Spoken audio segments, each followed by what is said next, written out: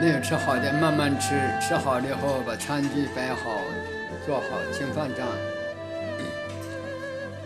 今天是我们第三天呢，佛期已经适应期过去了，这个时候正是车子上高速公路换高速档的时候了，希望大家好好用功。这个 念佛的时候，大家就注意到听自己的声音，不管有多少人的声音都能听到，专听自己的声音，用自己的心来圆自己的声音。有时候会跑，跑了以后再把这心拉回来，再放在这个佛号上，慢慢慢慢的久了以后，他跑的时间少了，那么这个时候啊，功夫就容易得力了，所以这。功夫成片呢，那个宋朝的那个古音大德，他有一个偈子：行住坐卧之中，一句弥陀莫断。须信因身果身，只叫不念自念。若能念念不空，观取念成一片，当念认得念人。弥陀与我同现，这个句子啊，前两天我说了头头一个，头一半，后边这个呀，就是若能念念不空，每一念都不空过，就是心里不要跑，不要打妄想，管取念成一片，你这样念呢，在四维一当中行住坐卧，那么这个时候你这个佛号没有间断呢。就嗯，一定管取保管你能够取得成片的功夫，念成一片。这个念佛的功夫啊，有有个次第啊。第一个就是要一句把这个心摄住，然后慢慢成片，成一片一片的，这个心里能够摄住，到最后啊，就一心不乱的。那么我们先能够一句把心摄住，然后啊，再让这个。功夫成片，成一片一片的，一片有的时候很短呢，把它拉长，拉长拉长拉长很长，长长长中间没有间隔，一心不乱，啊，就是古人说那个一心不乱呢。先用这个不，把那个乱去掉，那你去掉了，不不也不要了，最后那个心心也不要了，就剩个一，那一是什么？一真法界。啊，就是我们那个本具的佛性的真心呢，那个就现前了。啊，这个次第啊，就是这样子的。我们大家要这个这个功夫用的时候是什么呢？你要有耐心，耐着性子，不要不要起烦恼。就刚才我怎么老妄念这样多呢？没有妄念，我们先自己呀要肯定没有妄念。这个冷切精神师尊就讲没有妄想，妄想无性，没有妄想的啊，就是因为我们自己这个心你摄不住，他东跑西跑，东圆西圆的，每一圆一件事情也是一个妄想，那就是一个种子，那将来就要受报的。所以心不动，我们这个心就在佛上，在佛号上，在佛号上啊，我这个心九九九心佛一如。就是最后那个一一真法界那个一，那个时候啊，功夫就成就了。到这个时候，那么我们这个这个生命啊，就变成了慧命了。我们这个色身就变成了法身了，就是这样子的。在一般的法门当中，你要先把这个烦恼排除，啊，消除这个业障，业障啊。过去所造的恶业，现在对你修行上有障碍，要把这个等也能够排除，排除了完了以后，再积聚福德智慧的资粮，它是分两步做的，一般的法门。你这个业障不消除啊，没有办法，一步都没办法前进的，寸步难行。所以一般法门先要把这业障消掉，消掉了以后再来修福修慧。这样才能得力。念佛法门不是同时的因果，同时的，同时消业障，同时增福慧，同时的。所以这个法门是因果同时的，因因就是果呀。念佛，念佛，我们念佛，我们就是佛。所以古来的祖师讲啊，一念相应，一念佛。这一念相应，就是我这一念没有妄想，这一念本身就是佛果的功德。那么我们呢，后来这个。偶一大师说：“一日相应，一日佛。这一天没妄想，我这一天就是佛。那我们在这里七天当中没有妄想啊，你在这做七天佛，哎呀，这个功德多大呢？这个很大呀。但是有的时候啊，我们自己会感觉念佛的功德体会不出来。你要到妄想了，马上就能感觉出来。为什么？这妄想是染污的东西。你看这个染污的东西啊。”它很厉害呢，一颗老鼠屎，一颗老鼠粪呢，没好大呀。你这锅里头有一颗老鼠粪，这锅稀饭就脏了，不能吃了。所以不能打妄想，不能有，不能有妄想，不能有邪念，不能有恶念，只有正念，正念念阿弥陀佛，就是这样子。功夫嘛，就是这样用啊，要靠我们自己下功夫。哎，古人讲“欲学惊人意，须下死功夫”。呃，怎么叫死死功夫呢？就把这个妄心死掉。人心不死，道心不生。我们中国的传统嘛，有这个文中华文化的一个四句传统：是人心未伟，道心未微。为经为一，云止绝宗。当初那个谣传给舜的时候啊，就是云止绝宗。舜传给禹的时候啊，加了加了三句：人心未伪，道心未微，未经为一，云止绝宗。这个人心是什么？就是那个妄想，我们那个欲望啊。古来的人呢，他纯洁，没有什么妄想的。要念佛，他就念佛，他就一心念佛，马上就一心不乱了，没有妄想。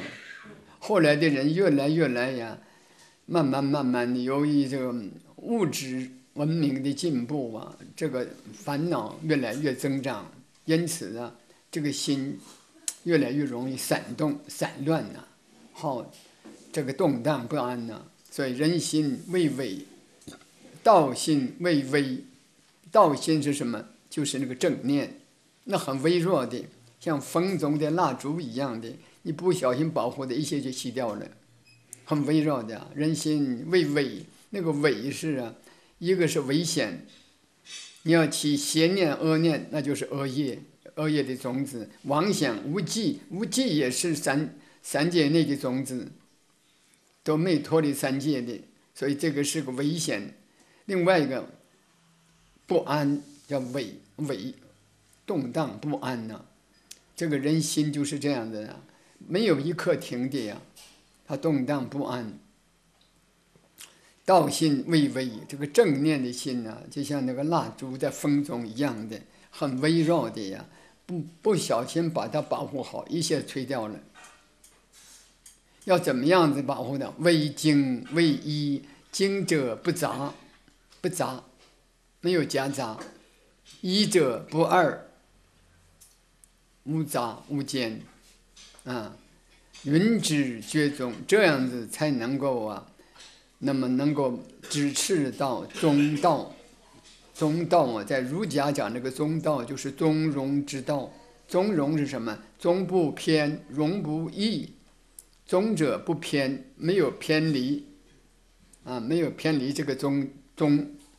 中就是恰到好处那个中，啊，容者不易，容不改变。你在在时间上永远不会改变，在空间上永远也不会改变，就是那么一个恰到好处的一个。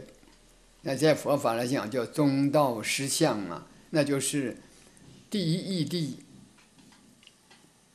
那我们知道这个道理呀，这个这个道理呀是一个呀。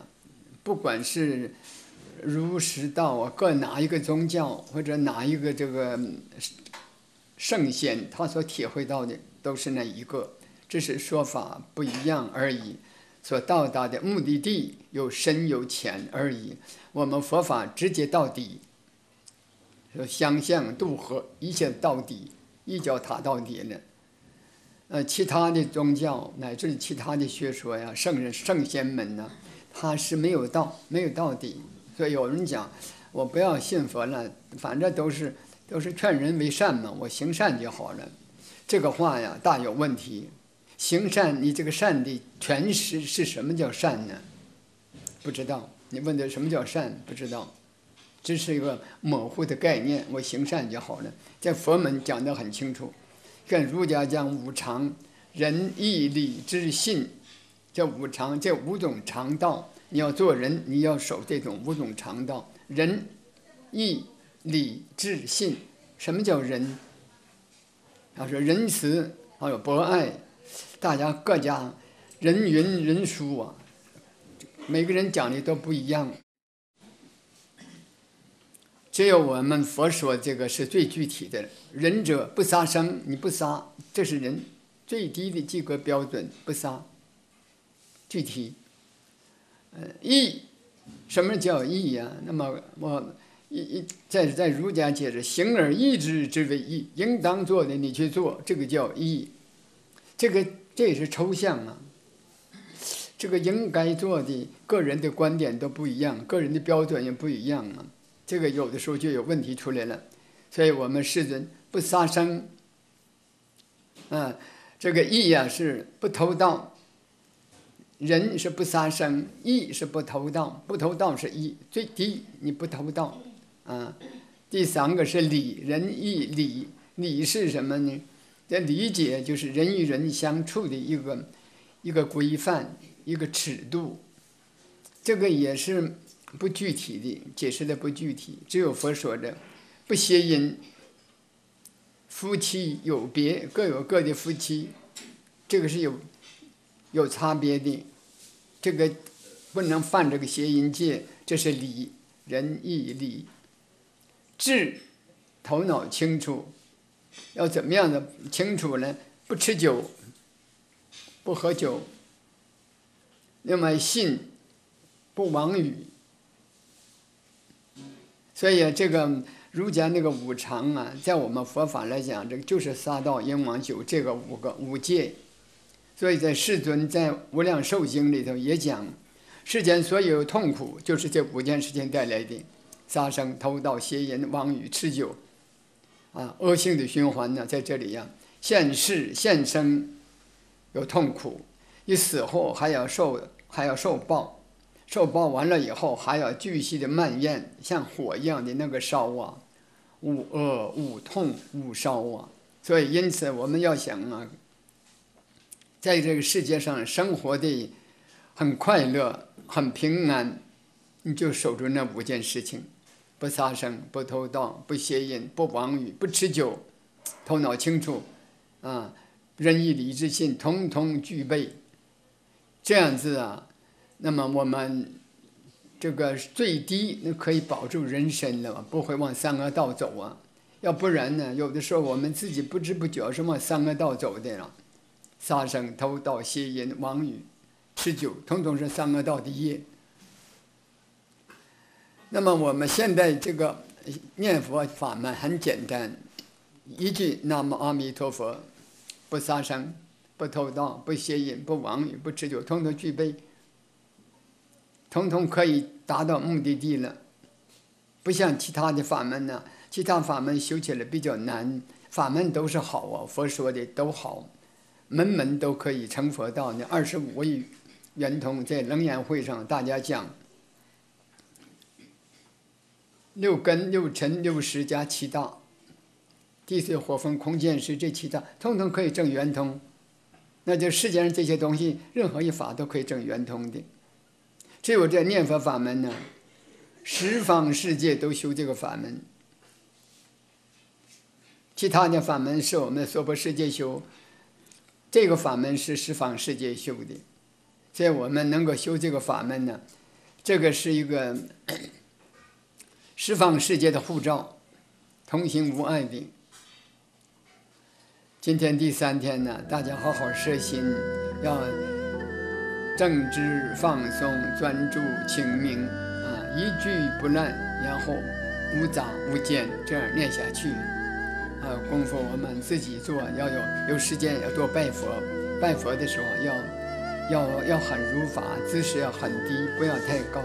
太高了以后啊，你这个对身体不好。要姿姿势要低一点啊，拜拜下去。